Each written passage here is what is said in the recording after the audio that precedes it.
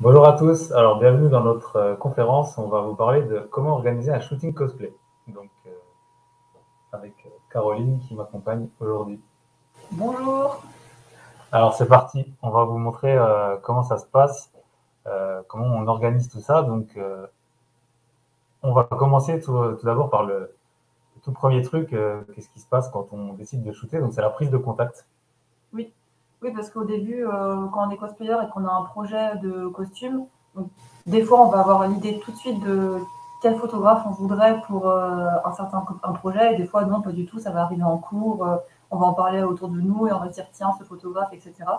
Donc, pour moi, le plus important, c'est d'identifier les, les univers en fait, du photographe, ce qui l'intéresse.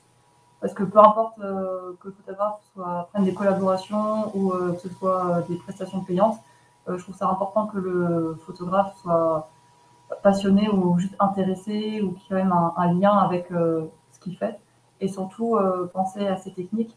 Ça va. Donc, j'ai l'impression de rentrer d'un seul coup dans le vif du sujet, hein, mais par exemple, euh, un photographe euh, ou- qui fera très peu de d'incrustation sur Photoshop, on va peut-être pas lui demander de faire des effets de, feu ou, ou d'incruster des, éléments euh, énormes euh, sur une photo. Enfin, ce genre de choses, déjà, et essayer de- d'identifier sa cible, en fait, quand on va contacter un photographe, histoire de pas, de pas juste contacter dans le blanc. Parce qu'on va vous montrer, bah, vous avez vu dans la vidéo d'intro que en shooting cosplay, on, on ajoute, on fait du Photoshop euh, à vrai. gogo pour certains projets. Donc, euh, c'est important de voir si le photographe sait le faire déjà et s'il a envie de le faire pour ce, ce type de photo. C'est ça.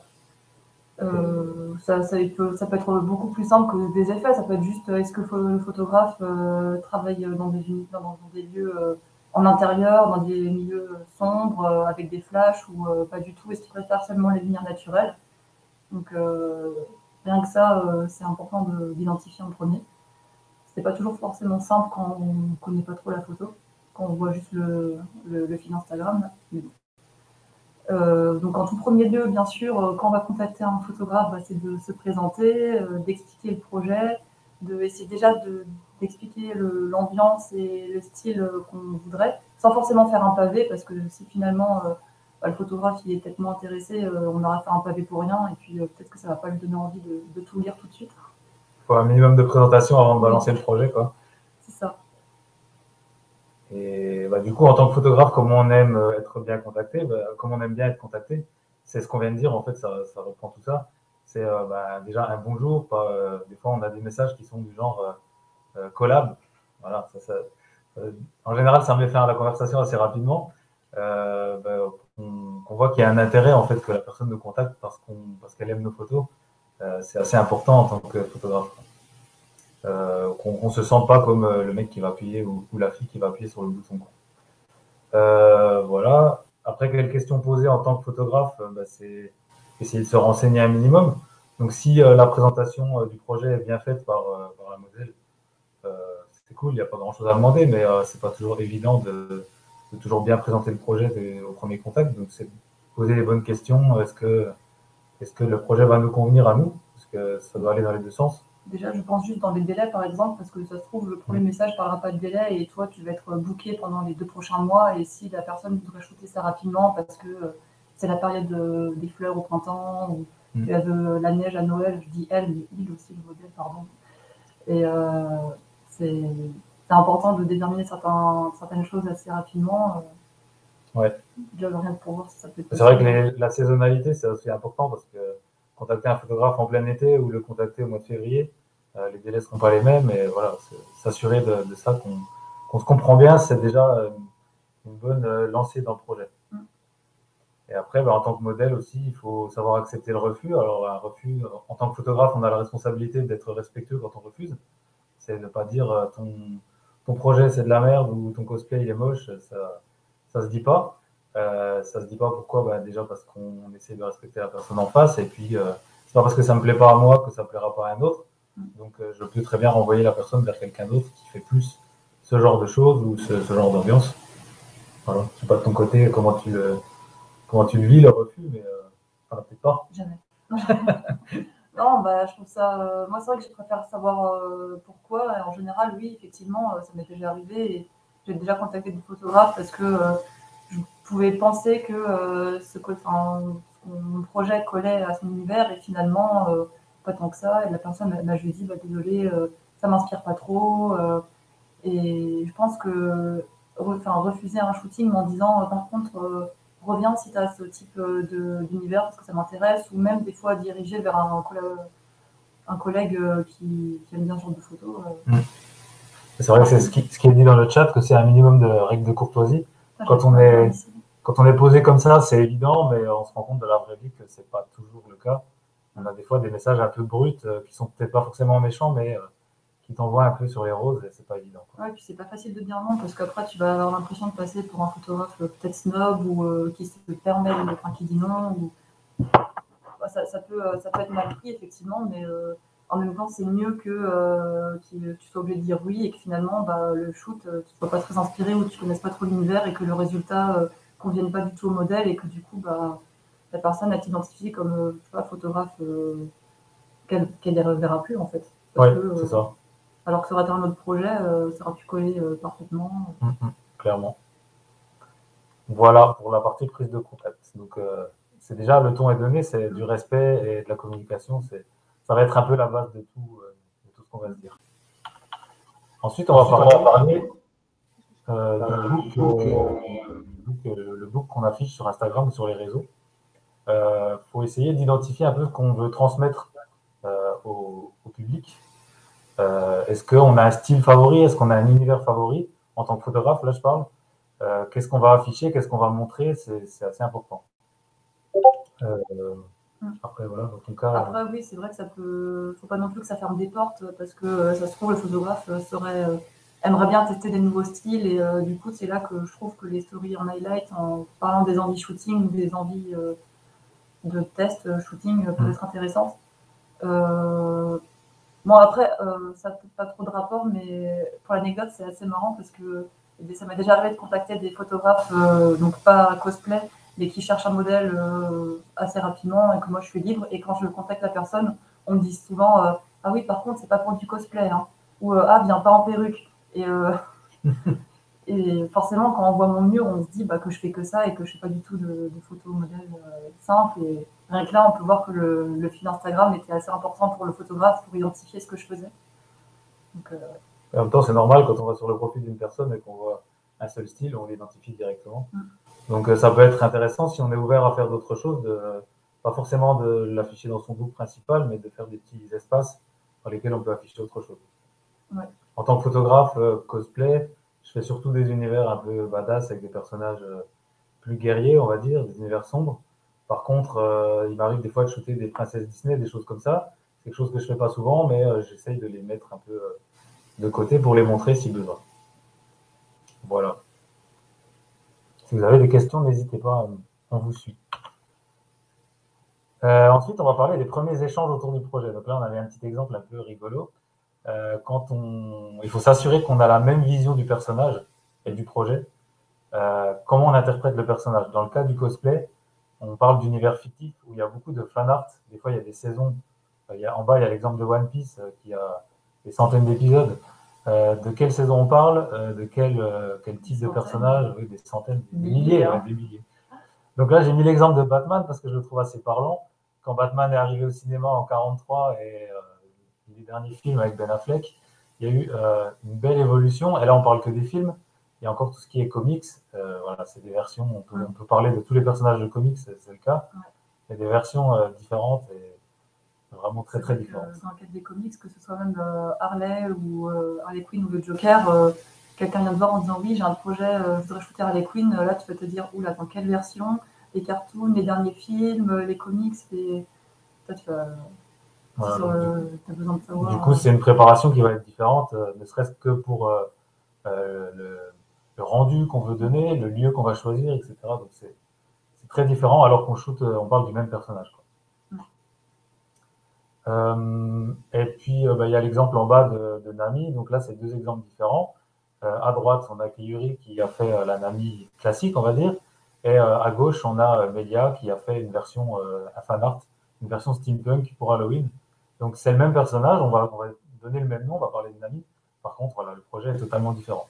Oui, du coup, le lieu sera différent, etc. C'est ça. Et après, euh, bah, du coup, si le photographe ne connaît pas l'univers euh, de la série ou du personnage, qu'est-ce que tu fais?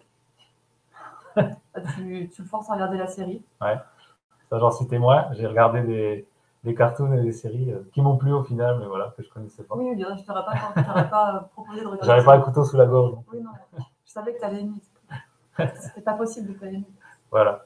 Souvent, les cosplayers sont hyper convaincus par leur personnage. donc, euh, Mais par exemple, pour le cas de, de Nani, euh, bah, c'est vrai que je pense pas que tu connais beaucoup Piece. Après, tu vas peut-être pas regarder des épisodes, mais bon, c'est tellement. c'est un personnage qui est beaucoup plus. qui est assez connu. ouais. Voilà. Mais pour euh, la version, par exemple, steampunk de Meyakos, même si tu connais pas Nani, le côté euh, Halloween, steampunk, la tenue en général, finalement, même Mm. si tu connais pas tant que ça le personnage, tu peux comprendre le mood qu'elle cherche. euh, Ouais. Voilà. Puis après, si elle te dit, bon, le personnage, est un peu hautaine, un petit peu chiante et tout, bah, c'est bon. tu- Il faut donner quelques guides ouais, sur le personnage, son caractère. Voilà. Ensuite, on va venir, euh, bah là c'est le point qui en découle, le mood board. Donc le mood board, c'est un, un jargon qu'on utilise souvent dans la photo, en tout cas dans la création artistique. Euh, un mood board, ça consiste à une, un tableau sur lequel on va mettre plein de choses, photos, des couleurs, des, Des ambiances. des ambiances, voilà. Donc on utilise souvent Pinterest, c'est un outil qui est assez pratique pour ça. On se fait un tableau Pinterest dans lequel on va mettre plein de photos, plein d'images. Donc euh, ça nous sert à euh, bah, avoir des images de rêve, des expressions, des poses, euh, même sur les cadrages, euh, s'assurer qu'on attend la même chose. Donc ce qu'on disait avant, les différentes versions de perso.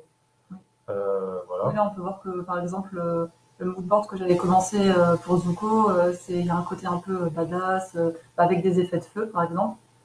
Beaucoup d'effets de feu. et euh, c'était ce que je recherchais. Et comme ça, enfin, je pense que Fred a pu voir rapidement euh, l'ambiance euh, recherchée pour le shooting. Là, on a vraiment un coup d'œil, on a, on a une idée de ce qu'on recherche. Un personnage assez sombre avec des effets de flammes, etc. Et si on regarde la série, donc ça, c'est une des séries que j'ai été obligé de regarder. Il y avait quand même cinq saisons, hein, c'est ça? 3. Trois. Ah merde, j'ai mal regardé. Non, 5, c'est Steven Universe. Ah oui, voilà, encore une autre.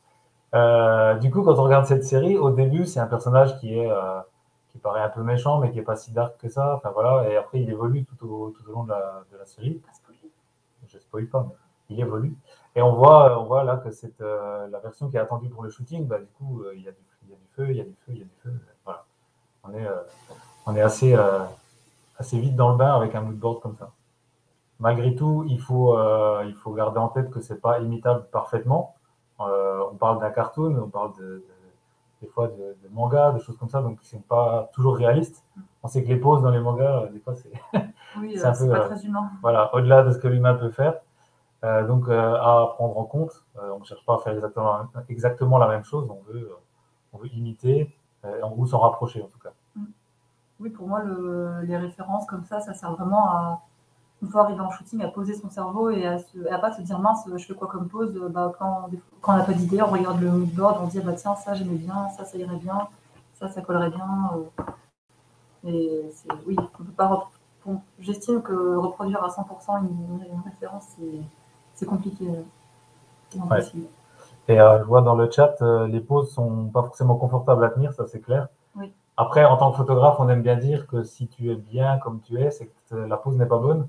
En général, il faut un peu se forcer pour les poses, pour que ça rentre bien. Ça va si la modèle est souple. Si la modèle est souple, ouais. c'est clair. Des fois, c'est un peu, euh, un peu périlleux. Euh. Et euh, encore un point important pour le moodboard aussi, euh, c'est qu'il faut prévoir à l'avance certains effets en post-prod. Si maintenant on n'avait pas fait ce moodboard et que le jour J, euh, on avait décidé de faire euh, des effets de flamme, j'aurais pas forcément eu le bon matériel, on va en parler après, mais j'aurais pas eu le bon matériel pour faire, euh, pour faire ce que j'ai fait. Enfin, pour faire ce qu'on a fait, pardon. D'ailleurs, je trouve que ça, ça confirme bien aussi euh, bah, toute la discussion qu'on avait avant sur euh, l'ambiance recherchée finalement. euh, et puis toi, euh, non, je pense que quand je t'ai montré Pinterest, bah, tu peux me montrer les références qui, que tu aimes bien. Tu- je pense que tu en as certaines, tu m'as dit, ouais, bon là, c'est quand même compliqué. Mm. Bah, je pense à, je sais pas, celle-ci, je sais pas si on peut vraiment zoomer, mais le- avoir des flammes très, je vais pas dire scintillantes, comment dire, et puis que je sois très sombre. Enfin, c'est ça là. Des, des, Il y a des des- images qui sont dessinées des fois Voilà. qui sont pas forcément. euh, pleine journée en extérieur, est-ce Voilà. que c'est possible Enfin, voilà, c'est- après, euh, on peut se dire que c'est toujours possible, mais euh, moins facile en tout cas à réaliser en. Bah là, par exemple, on, aurait- on pourrait récupérer euh, la position et euh, peut-être les effets de flamme, mais peut-être pas toute l'ambiance euh, totale. C'est ça, des fois on va un peu, on va un peu euh, mixer certaines images qui, qui nous inspirent. Et euh, un point important auquel on pense pas toujours au début, c'est euh, quelque chose d'accessible hors réseau, parce qu'on va shooter des fois en, en, en, nature, en extérieur. Alors je sais que certains font que du studio ici, euh, ici présent, mais euh, nous on va souvent en extérieur et quand on se retrouve dans la nature, bah, il n'y a pas de réseau. Et si on a tout préparé sur Pinterest, ben voilà, on a fait tout ça pour pas grand chose parce qu'on a oublié. Euh, c'est quand même un peu frustrant. Ouais. On a quelques exemples ensuite de moodboard versus, euh, versus réalité, enfin versus la photo.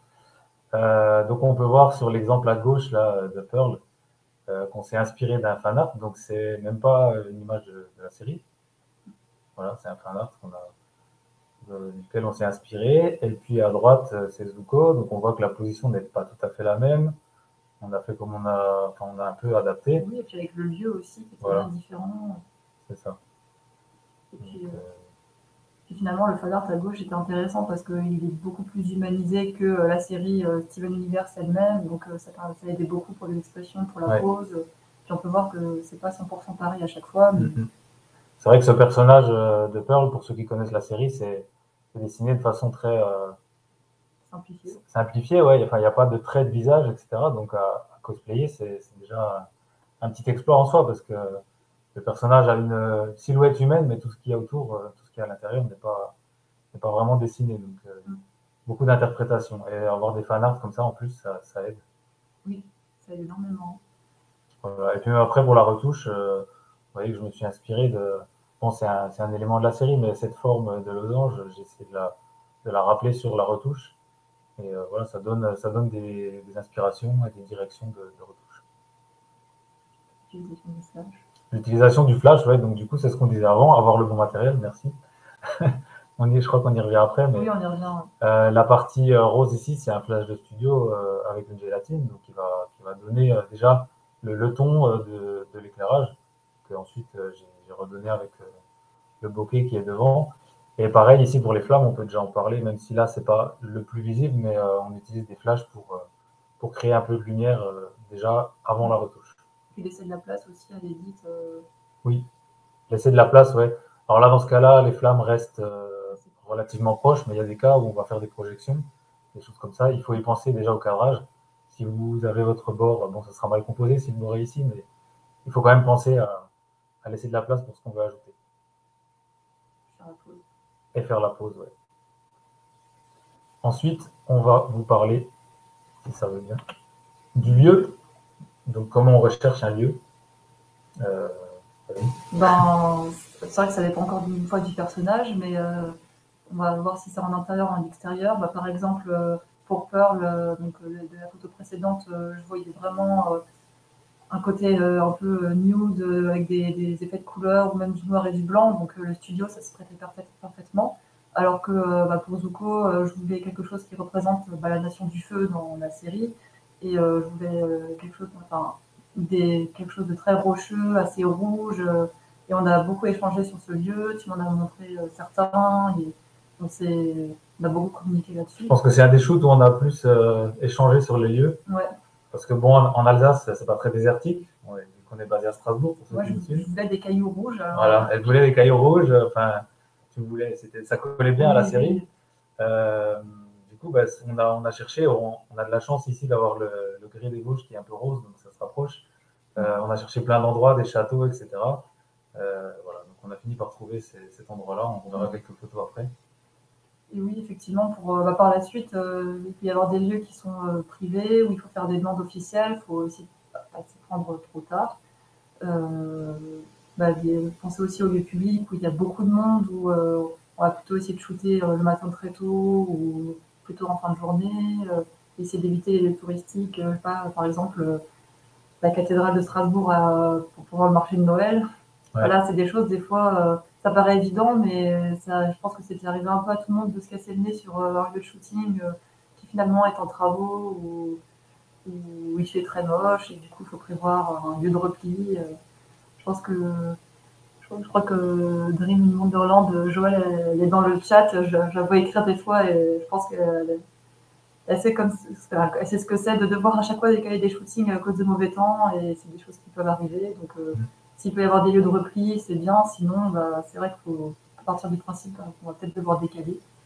Et c'est vrai que si, si tout le monde est prêt, il y a la préparation des costumes, du maquillage, etc., et qu'on arrive sur un lieu fermé ou en travaux, et qu'on n'a pas pensé à autre chose, bah, c'est hyper frustrant parce que tout le monde s'est déplacé pour rien. Enfin, voilà, oui, c'est ça. Alors qu'il suffisait de penser un peu en avance à un autre lieu, même s'il est moins bien, il y a quand même quelque chose à faire et on est, on est moins, moins fâché, on va dire.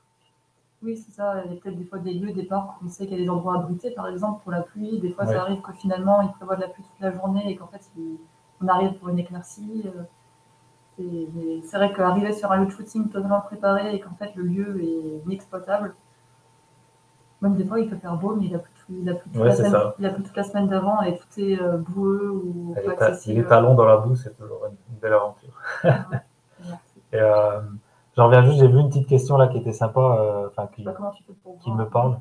Je, regarde pendant que tu parles. je parle trop.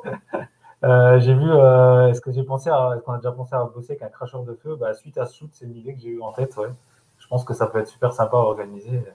Pourquoi pas? Et puis, euh, un max d'effets pour avoir moins à faire en retouche, ouais, c'est, un peu ça.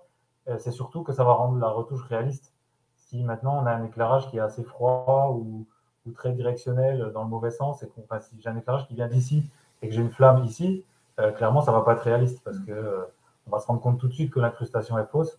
Alors que si j'ai préparé mon éclairage du bon côté avec la bonne couleur, je vais juste ajouter ma flamme dans Photoshop. Clairement, je gagne du temps, mais en plus, c'est réaliste. Donc, euh, ça guide la retouche. C'est ça. Mais il faut le prévoir à l'avance parce que on ne pense pas à tout le jour J. Voilà. C'est vrai que pour cette photo aussi, hein, tu avais mis un flash. Ouais. Euh, cet exemple-là, voilà, c'est exactement ce que je viens de dire. On avait euh, de ce côté-là, donc dans cette direction, un, un flash euh, orangé qui, venait, qui venait créer le, la flamme. On savait à l'avance qu'on voulait faire. Ouais, je dis une bêtise, ouais, il était, il était à l'arrière, tout à fait. Mais par contre, j'avais du coup la lumière dans ma main, dans le creux de ma main, et puis dans les cheveux. C'est ça. On savait qu'on voulait reproduire cette image qui a une, une affiche du film, je crois. On voit là les cheveux comme ça. C'est euh, euh, voilà, Dark Phoenix. Euh, donc du coup, on avait mis le flash dans la direction des flammes et bah, ça crée un effet plus réaliste. Et à la base, j'avais mis cette image pour parler du lieu. ici, on a shooté en urbex, donc on a cherché un bâtiment abandonné pour avoir quelque chose d'un peu détruit. Mais ce cas précis, on a totalement assombri le décor puisqu'on a fait un effet de flash assez puissant. Et euh, il faut se poser la question à l'avance si on veut des effets comme ça sur tout le shoot, c'est peut-être pas la peine de trop se casser la tête sur un, sur un lieu exceptionnel si on va pas le mettre en avant. Donc euh, voilà, il faut essayer de trouver euh, le, la recherche qui correspond à ce qu'on veut faire. Euh, oui, si c'est que des portraits rapprochés avec beaucoup d'effets, peut-être que finalement le lieu ne sera pas mis en valeur. C'est ça. Après, il y a d'autres photos de ce shooting. on a utilisé l'urbex. Alors je vois euh, le feu dans les cheveux, quelle galère à faire la retouche. Ouais, c'est vrai que ça prend du temps, c'est clair, mais quand on a bien, quand on a bien préparé son effet euh, au, shooting, bah, du coup, on est, on est, content de le faire et ça passe bien. Quoi. Je t'ai demandé beaucoup de choses avec du feu quand même. Hein. Ouais, c'est vrai. c'est un peu un point euh, qui revient souvent.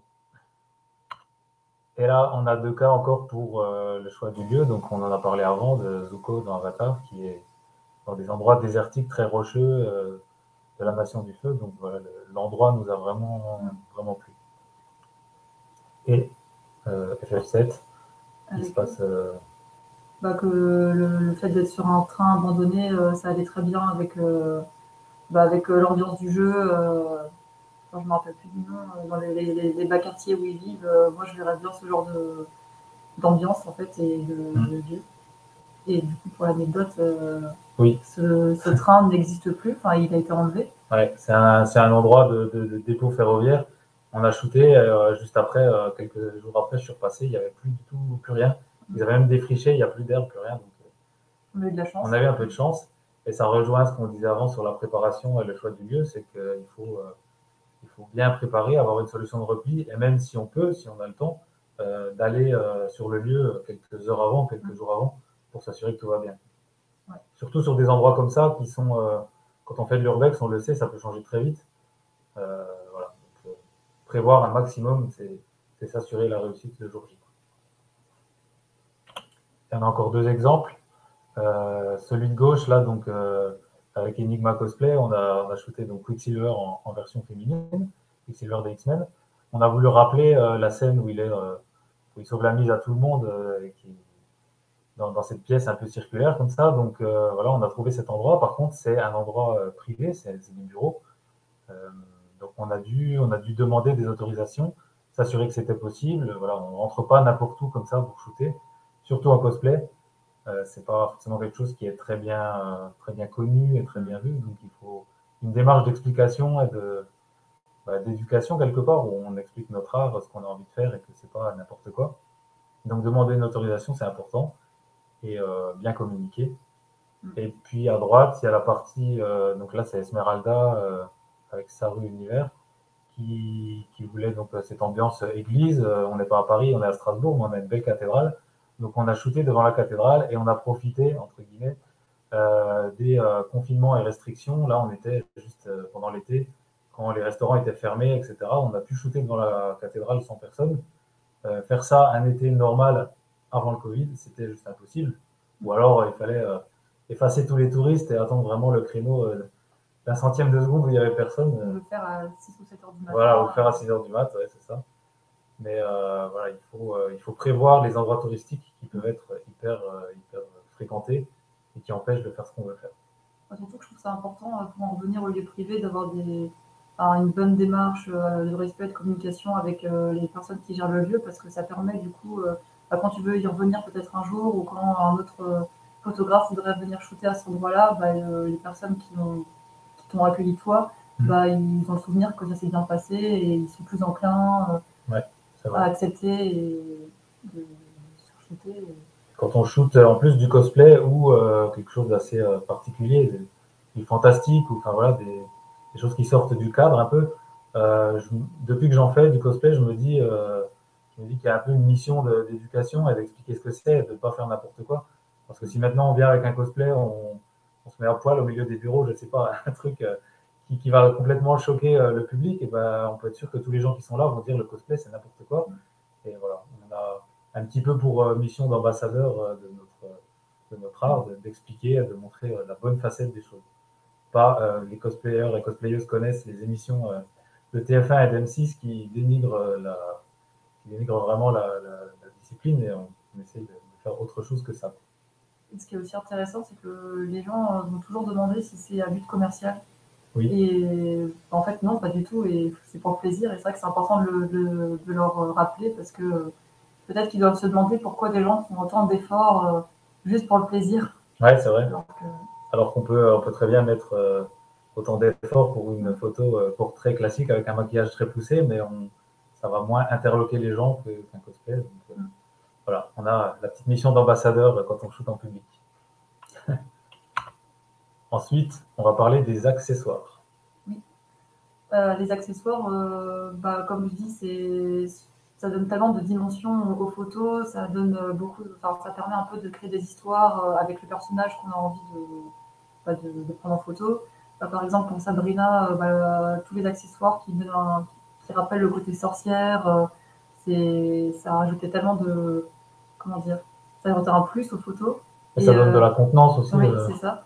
Et je trouve que surtout quand on, est, quand on peut être un peu timide ou quand on ne sait pas quoi faire avec ses mains, avec, euh, quand ne sait pas comment poser, bah, avoir des accessoires dans les mains et faire quelque chose, euh, ça rassure beaucoup. Et euh, bah, comme je dis aussi, c'est intéressant de, de, prévoir à l'avance. Bah, par exemple, sur la photo, on peut voir qu'il y a des bougies qui sont déjà consommées. Donc effectivement, je ne les ai pas consommées dans la forêt parce que je ne voulais pas créer un feu de forêt. Mais je les avais déjà commencé à les, les, utiliser chez moi pour qu'il y ait un effet un peu abîmé, vieilli. Euh, le, bah, le, chaudron, je l'ai emprunté euh, à une amie. Euh, tout, tout, ce genre de choses. Bah, les, mandarines, pour peu qu'on foute un dimanche tout est fermé, pour une amie, bah, on est content d'y avoir pensé deux jours avant. Et oui, les, les, accessoires, c'est souvent des choses qu'on va utiliser une ou deux fois, parfois plus, mais ça prend beaucoup de place chez soi, ça peut coûter cher et ça peut être intéressant d'y penser avant pour pouvoir s'échanger avec des amis, des, collègues photographes, cosplay. Euh. C'est vrai que les cosplayeuses ont chez elles des choses un peu. Euh, on ne penserait pas leur demander, mais ah un, chaudron ou des, des bougies euh, brûlées, elles ont, il n'y a pas de problème. Mais c'est vrai que. Ou des crânes. mes premiers shoots un peu dark, quand j'ai acheté des crânes, je me suis dit, mais qu'est-ce que je vais faire avec ça? Ça sert à rien. Et en fait, je les ai utilisés dans plein de shoots. Ouais, on les, on souvent, c'est vrai. Et euh, ouais, l'aspect donc écologique et économique, c'est important. Et j'ai vu une question, Sabrina l'apprenti sorcière, j'ai tu parlais de ref, d'ancienne ref, mais c'est pas si ancien puisque c'est la Sabrina de la série Netflix. Donc encore une fois, on parle du même personnage, mais de versions différentes. Donc, important de, important de, s'en parler. Et en plus, là, la série Netflix et l'ancienne Sabrina, c'est pas du tout le même ton. Mm. L'ancienne série est beaucoup plus drôle, plus, plus mignonne, on va dire, que la nouvelle série. Donc, C'est assez dark le rendu n'est pas le même. Et il y a aussi le dessin animé Sabrina. C'est vrai. Donc, euh, ouais, il y a beaucoup de, beaucoup de versions parfois. Euh. Versions différentes. Et puis, euh, Ça permet aussi, toi, de. Parce qu'on a un petit peu joué finalement avec les accessoires. Donc, pour la photo en haut à gauche où, où j'ai une, une, bougie, je crois que tu as rajouté des petits éclats. ouais. J'ai rajouté, je ne sais pas si on peut zoomer, si on voit. Mais voilà, on peut rajouter, voilà, j'ai rajouté des petites, des petites flammes. On peut rajouter un côté magique en se servant du, de l'accessoire. Et puis, euh, bah voilà, le chaudron, là, ça a créé aussi une petite ambiance euh, sympa. des, photos d'ambiance en plus à rajouter au shooting pour un peu le, storytelling. Euh, et on a en bas à droite le chaudron, là où j'ai pu, mettre un flash à l'intérieur. Donc, ça permet de cacher un peu le, flash et de faire des effets qui, sont, sympas à, réaliser. Donc, le flash avec une gélatine bleue. Et ensuite, j'ai rajouté des petits traits de lumière parce que ça, c'est un peu difficile à faire s'il n'y a pas de brume et euh, des petits, euh, voilà, de la poussière, des choses qui donnent un petit côté magique. Puis euh, même ton ami, je crois que tu as mis une gélatine orange. Là, il y a une gélatine orange pour réchauffer un peu l'atmosphère. voilà. On peut s'amuser avec les accessoires comme ça pour créer des choses en plus. et on a Caméléon qui dit quand tu as des profs de 1m50, ça passe. Ouais. Alors les accessoires, c'est clair, ça peut être des fois très, très, très encombrant. pas dans des voitures. Voilà, ça rentre peut-être même pas dans la voiture des fois. Euh, des sceptres, des épées, des trucs, des boucliers, enfin ça peut être. Il n'y a pas tout qui est accepté dans tous les lieux, bah, que dans les conventions. Euh, C'est ça, les, les armes, euh, même factices, peuvent, peuvent, être refusées, donc voilà, il faut faire attention à ça.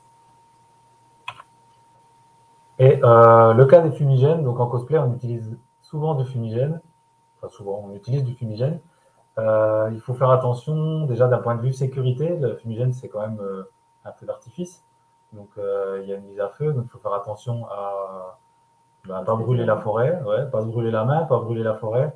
Donc avoir de l'eau, toujours, on essaie d'avoir de l'eau euh, quand, on essaye, on a toujours de l'eau euh, pour éteindre s'il y a un souci. Et puis après, qu'est-ce qu'on fait des déchets? Parce qu'un fumigène, ça reste une grenade en carton avec plein de poudre, donc on ne la jette pas dans la nature, surtout pas. Et puis, euh, bah, surtout, euh, surtout aussi prévenir les gens s'il y a du monde autour, si c'est touristique. Bon, si c'est en pleine ville, on va éviter de le faire, clairement. Oui, oui c'est sûr que les lieux fermés aussi. Les lieux fermés, il faut oublier, c'est quand, quand, même très agressif. Et puis, euh, bah, s'il y a du monde, on prévient. Attention, c'est pas un feu, c'est pas un départ de feu, c'est des fumigènes. On le maîtrise du mieux possible. voilà. Dans le cas de la fumée blanche, clairement, il faut, faut faire attention. Une fumée bleue ou rouge, ça reste quand même, on voit que c'est un artifice. Mais euh, voilà, sécurité avant tout. Et puis, euh, dans la prévision, dans la communication, quand on utilise des fumigènes, bah, est-ce qu'on va en avoir besoin? Est-ce que j'en ai en stock? La saisonnalité joue beaucoup aussi. Pour Halloween, là, si vous voulez du fumigène blanc ou orange, il faut aussi prendre en avance. Les, magasins en ligne n'en ont plus, clairement. Il faut les commander en ligne en avance. Donc euh, voilà, pensez à tout ça. C'est une bonne transition sur les helpers, parce que bien sûr, le fumigène ça arrive souvent que ce soit le, modèle qui tienne le fumigène et qui s'en occupe euh, en faisant des mouvements, etc. Mais ça arrive aussi très souvent que ce soit un helper qui court derrière nous euh, pour essayer de, dispatcher la fumée de façon euh, homogène et pas comme sur les photos précédentes finalement. Voilà. C'est vrai que je reviens en arrière, mais une photo comme ça, si on n'a personne pour aider, on n'arrive pas à avoir cet effet parce qu'on voit à droite ici que la fumée passe devant la modèle et derrière. Donc là, il y a clairement un mouvement qui s'est créé euh, avec la grenade fumigène. Donc euh, c'est quelqu'un qui nous a aidés. Et du coup, en parlant des helpers, je pense que c'est un mot que bah, moi, j'ai jamais entendu avant, ce mot dans les shootings classiques. Et c'est totalement euh, dans le langage courant des cosplayers et des photographes cosplay. Le helper, c'est la personne qui vient à un shooting bah, nous aider, en fait. que ce soit pour tenir les affaires, pour aider aux retouches pour le cosplayer, tenir des flashs euh, ou, le, même le réflecteur, euh, faire des, des jolis lancers aussi de, robes, de cheveux. Euh, mm. On va dire, on va dire que c'est, on va dire que c'est un assistant en langage classique, mais c'est vrai qu'on utilise toujours, le mot de helper et, avec le cosplay, il y a tellement de, bazar à transporter, mm. si on peut dire bazar. voilà, que c'est souvent utile et on va dire 8 fois sur 10, c'est le copain de la cosplayeuse. Pas de quoi tu parles. on a un bel exemple en bas à droite où il y avait des orties. Caro était pieds nus, donc voilà, notre helper préféré était là. Porteur des affaires devant, on voit les gourdes en plus dans cette cadeau. Voilà, il y a un total. Et, on a derrière encore le deuxième qui, qui Pour la deuxième modèle. Voilà. En fait, ça arrive aussi que les photographes et des helpers, que ce soit pour bah, tenir des flashs, parce que les lieux ne sont pas toujours euh, propices à bien tenir euh, le trépied euh, du flash et s'il y a des grands coups de vent, je pense qu'en général, on est toujours beaucoup plus serein avec quelqu'un qui est là juste pour un peu nous aider et veiller bah, aux petits détails du, shooting. Mm. Et, ça, fait, ça fait plus d'attention, ça fait, comme on disait tout à l'heure, un cerveau en plus mm. pour réfléchir à tous les petits détails. C'est ça. Puis bah, pour finir aussi dans les lieux fréquentés, on est toujours un peu stressé. par exemple, pour ceux qui connaissent, parce que c'est vrai que là, c'est des... on, vient tous d'endroits différents, mais euh, à Strasbourg, on a, on a déjà shooté au musée d'art moderne, et euh, c'est un endroit où il y a beaucoup de fréquentation, enfin, fréquentation, beaucoup de monde, beaucoup de passages. Et euh, le fait d'avoir quelqu'un qui, qui, est là à côté des affaires, bah, ça permet vraiment de se détacher et de ne pas tout le temps regarder à droite comme ça. les affaires, c'est bon. On est beaucoup plus serein quand on a quelqu'un pour On est un peu plus mobile aussi. Ça, c'est sûr.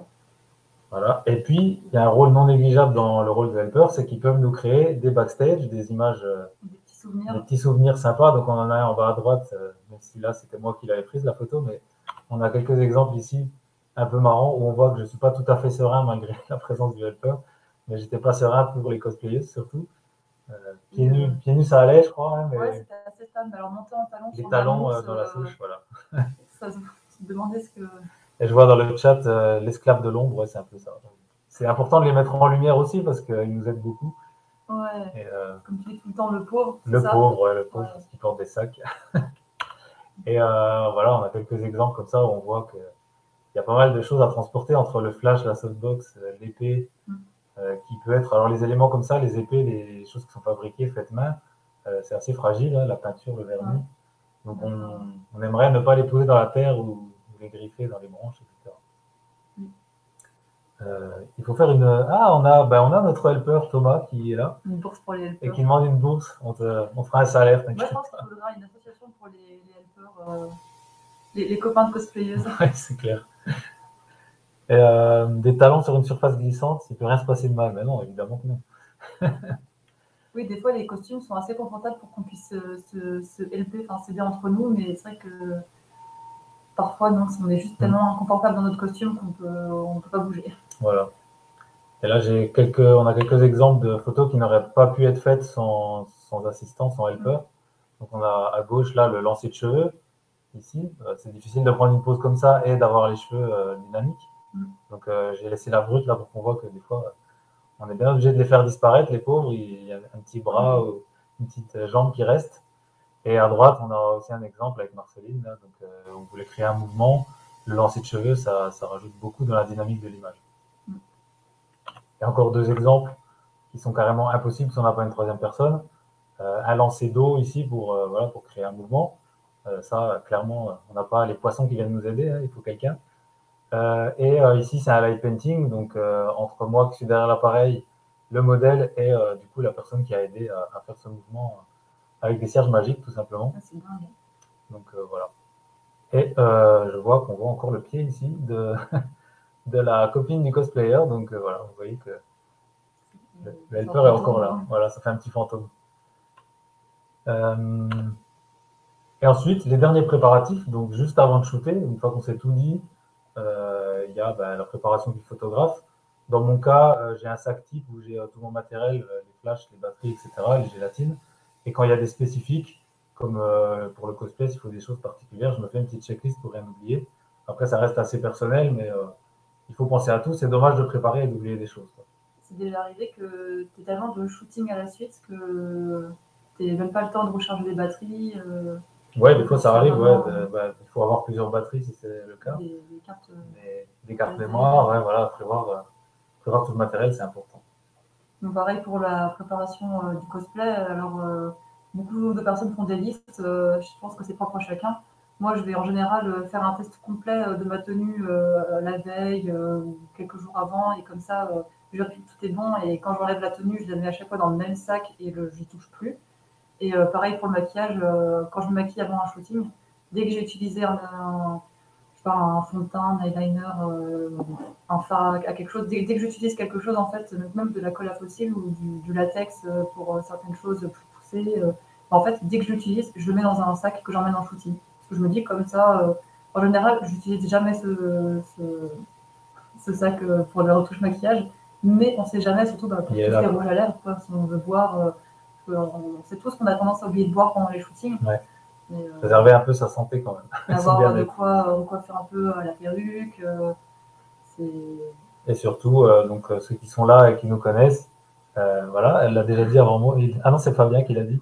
Le dernier point, très très important, le gâteau en offrande au ah photographe. J'ai une réputation soi-disant.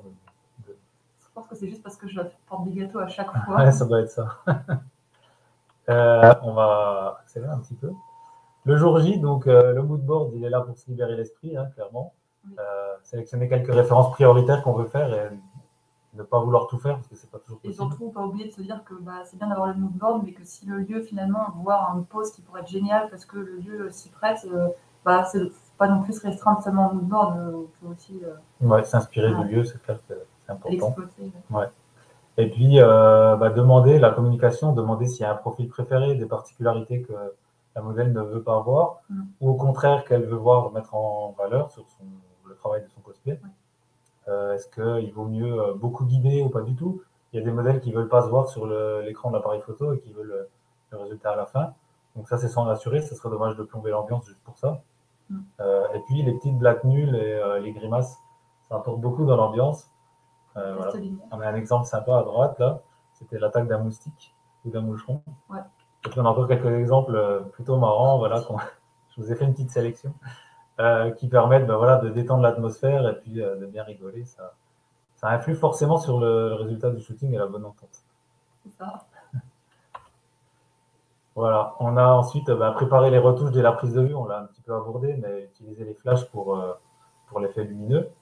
Laisser de la place gauche ou à droite pour, pour incruster ce qu'on veut incruster, c'est important. Voilà, par exemple, euh, pour euh, le shoot Final Fantasy, euh, la matéria, c'était seulement une, boule transparente et notre chère helpeuse Mireille Cosplay avait dirigé un flash vert en notre direction.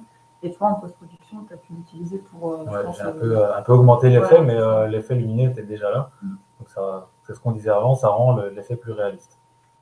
Et on a encore deux exemples ici de flash qui ont été dirigés à l'avance. Donc ici, on a un flash avec une gélatine orange qui va bien illuminer les cheveux, la peau. Ça va donner quelque chose de beaucoup plus réaliste que si j'avais juste mis ma, petite flamme euh, sur Photoshop. Euh, fallait bien faire en sorte de, que la main soit quand même décalée du visage et pas juste en, dessous. Euh. C'est vrai que la photo brute était un peu étrange parce que la main était très éloignée. Mais une fois qu'on ajoute le, la flamme, voilà, il faut se projeter. D'où le moodboard qui permet de, prévoir tout ça.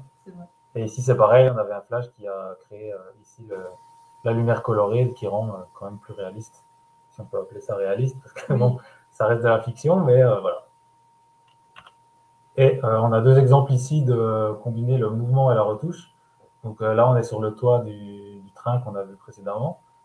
ça permet bah, de, créer un petit effet de mouvement en post-production, mais qui est réaliste par la position et par le lieu dans lequel on se trouve. Et ici, pareil, dans le mode, le mode combat, on va pouvoir ajouter un petit effet de, mouvement euh, qui, rappelle le manga. Qui était d'ailleurs une référence. Oui, c'est ça. Après le shooting, c'est pas fini, clairement. Euh, il y a encore beaucoup de communication qui nous attend quand on a fini de shooter. Euh, il y a plusieurs cas, et ça dépend des gens et du fonctionnement. nous, en tout cas, ce qu'on fait, moi, c'est que je fais une galerie provisoire où Caro va donner son, son avis et choisir les photos qu'elle aimerait voir retoucher. Alors après, tu fais souvent déjà un premier tri, tu enlèves euh, les dark face, hein. puis peut-être des, flous, des, ratés, euh, des yeux fermés, des, choses où c'est évident pour toi que ce ne sera pas choisi. Ça. Et puis, euh, ne pas envoyer 200 photos, c'est aussi s'assurer d'un choix plus fin. Mm. en général, j'essaie de faire une cinquantaine, entre 50 et 80 si c'est un shoot très long pour peu qu'il y ait une photo que, que j'aime beaucoup, parce que j'aime beaucoup la pose, et toi, finalement, tu, trouves que ça ne représente pas euh, la qualité euh, photo euh, de Frédéric Jarran, parce qu'il y a un léger flou, parce qu'il y a un cadrage qui ne te plaît pas. Ce serait dommage que je l'ai vu et que je l'ai choisi, alors que. C'est ça. Déjà faire le premier tri. Après, il y a des gens qui préfèrent euh, que ce soit le photographe qui choisisse. Ah oui, tout... C'est encore une fois de la communication, il faut le, définir. Puis le modèle, il s'adapte aussi, hein, parce que euh, même si, enfin, si le modèle veut absolument choisir à chaque fois ses photos, bah, on va éviter de voir avec le enfin, de demander au photographe, alors que le photographe, lui, ne veut pas choisir, enfin, montrer ses photos avant. Euh, ça. arrive que le photographe préfère juste choisir les photos une à une au feeling, et qu'il ait le, bon œil pour. ouais, c'est ça. Et puis, c'est aussi euh, en fonction des, préférences, mais valider une première version de retouche, ça peut être important, surtout sur les, shootings où il y a beaucoup de retouches. Faire une première photo et demander l'avis, c'est bien parce que si, si, on se tape les 10 ou 15 photos à retoucher et qu'au final ça va pas. Euh, par exemple, pour Marceline, même sans parler de l'ambiance, finalement, je suis en train de penser, tu as, retouché ma peau, parce que tu m'as rendu euh, bleu-grise. Ouais, ça. Je voulais peut-être savoir si c'était à peu près la, la couleur qui, qui m'allait avant de, de, de, me colorer partout. Voilà. Donc, euh, surtout quand il y a beaucoup de travail, demander avant. Et ne pas hésiter à, pour la modèle à communiquer si quelque chose dérange. Euh, voilà, une particularité des fois sur le visage qu'on veut euh, ne pas voir ou ne pas. des fois, les photographes peuvent effacer quelque chose par erreur, un grain de beauté. il faut le dire. Il ne faut pas hésiter à le dire. c'est l'inverse qu'on peut faire. c'est ça.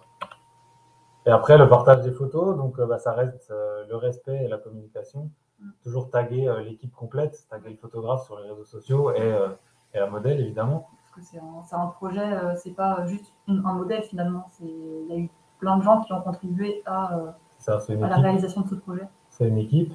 Et euh, aussi bah, respecter en ne coupant pas les photos. Ça, c'est souvent, ça nous tient à cœur, nous les photographes. On choisit un cadrage et on se retrouve avec une photo Instagram coupée en carré. Mm. c'est sûr qu'Instagram ne facilite pas tout ça. par contre, comme tu, comme tu procèdes, c'est pas mal.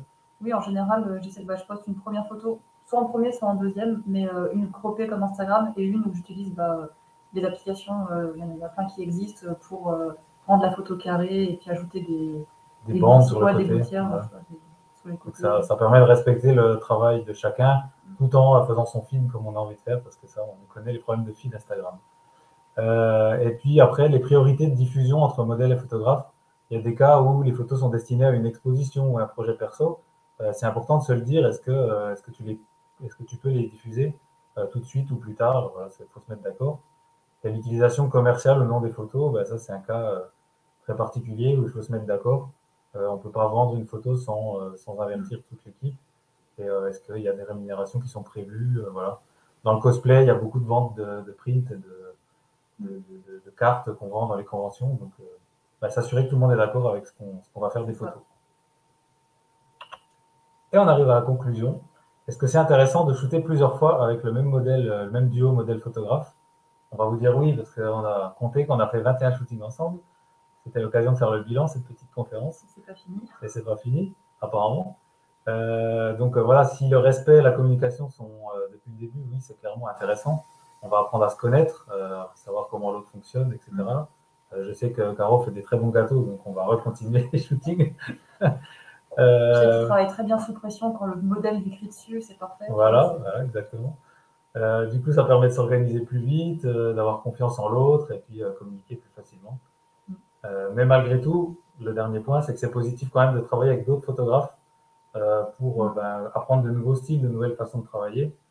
S'exercer aussi à communiquer, contacter d'autres personnes, c'est mm. important. Et puis, pas oublier, une fois qu'on est, dans un échange tout le temps avec le même photographe, après, on va avoir tendance à oublier que d'autres photographes ou même d'autres modèles fonctionnent différemment ou n'ont pas les mêmes attentes, etc.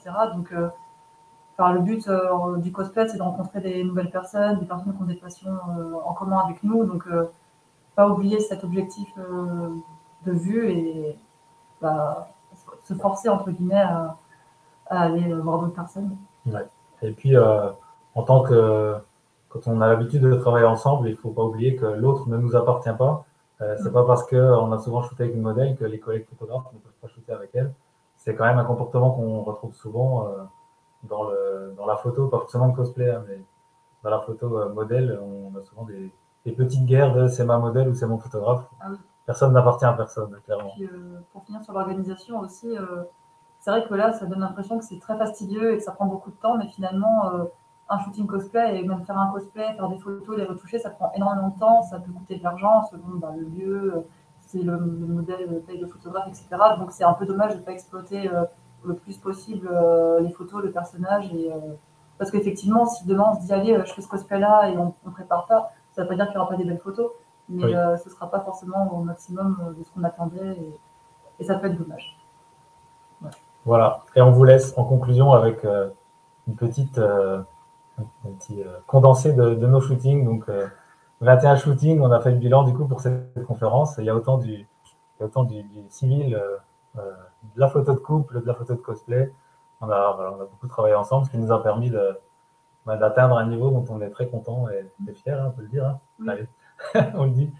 Et euh, voilà, finalement, c'est ces échanges qui permettent aussi de, bah, de s'améliorer. Enfin, moi, je lui demande de faire des retouches de feu, mais maintenant, il est expert en feu.